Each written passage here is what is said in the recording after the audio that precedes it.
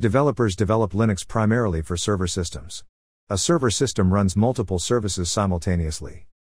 Sometimes, a process may use more memory than expected. For example, a university website hosted on a Linux server may consume more memory on exam results day. This type of memory spike is natural on server systems. Any service may use more memory at its peak time. Linux uses swap space to deal with the lack of physical memory. A swap space is a hard disk space. Linux uses it to extend the physical memory.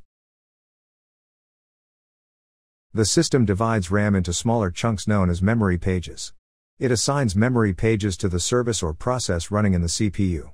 CPU executes services or applications in a round robin fashion. A round robin fashion schedules all processes in a queue. It assigns a quantum to each process in the queue. If the process does not end in its time slot, the CPU pauses it and takes the next process from the queue. If the subsequent process does not finish in its time slot, the CPU pauses it and picks the next process from the queue. Let us take an example. A CPU has two processes to execute. A quantum is 100 milliseconds. The first process needs 350 milliseconds, and the second process needs 140 milliseconds to complete. The CPU executes the first process. After 100 milliseconds, it suspends the first process and starts the second process. It runs the second process for 100 milliseconds. After 100 milliseconds, it pauses the second process and resumes the first process. It runs the first process for another 100 milliseconds. After 100 milliseconds, it again stops the first process and starts the second process. The second process needs only 40 milliseconds to complete. It allocates the remaining 60 milliseconds of the time slot to the first process. In the next time slot, the first process also ends.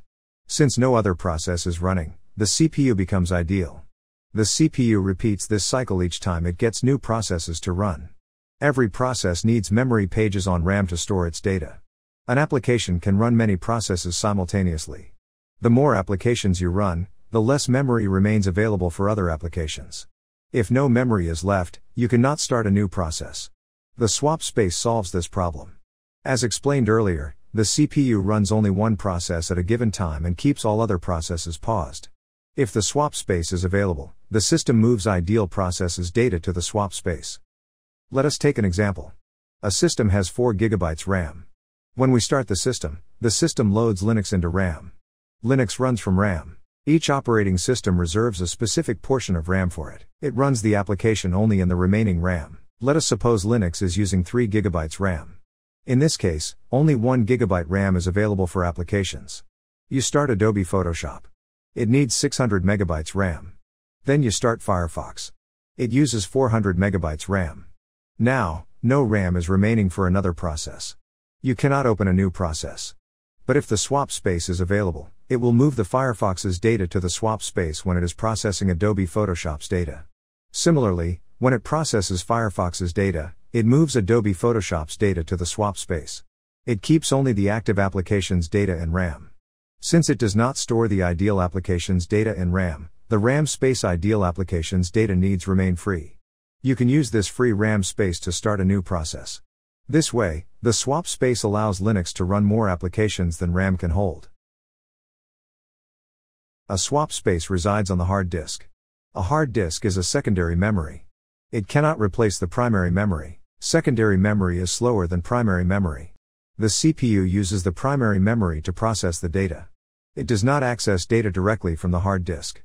It means the CPU will process an application's data only when the data is available on RAM. Moving the ideal application's data out and the active application's data in every quantum creates a lot of overhead. It decreases the system's performance instead of improving it. Because of this, the system uses the swap space only when it has a shortage of RAM. It defines a threshold value for RAM. It uses the swap space only when the uses of the RAM crosses the threshold. Let us take an example. Suppose, the threshold value is 3.5 gigabytes. You start Firefox and FileZilla applications. Let us suppose FileZilla needs 50 megabits RAM. In this case, the total use of RAM will be 3.45 gigabytes. Since the total use of the RAM is less than the threshold value, it will not use the swap space. It will keep both applications' data in RAM. But if you start one more application that needs 100 megabits of RAM, the total uses of the RAM will cross the threshold value. In this case, it will use the swap space until you close at least one application. As soon as you close an application, the total uses of the RAM will reduce below the threshold value, and it will stop using the swap space again. This way, it will move ideal applications data to the swap space only when the total uses of the RAM will cross the threshold value.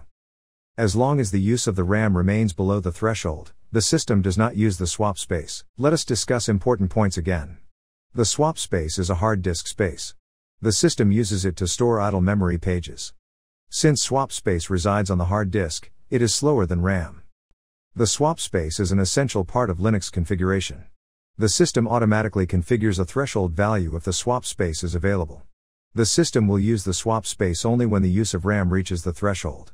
As long as the use of the RAM remains below the threshold, the system does not use the swap space. That's all for this video.